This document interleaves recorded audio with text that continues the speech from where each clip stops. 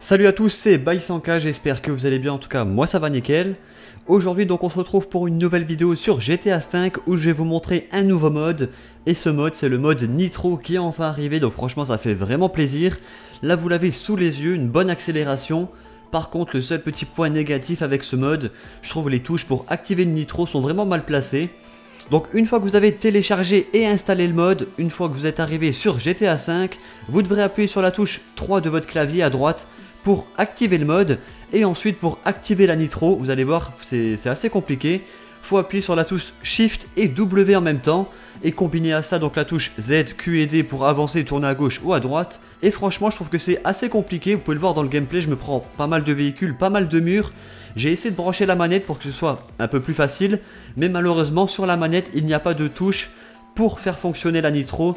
Donc tous ceux qui voudront jouer avec la manette sur le PC ne pourront pas utiliser la nitro à moins d'avoir le clavier pas loin.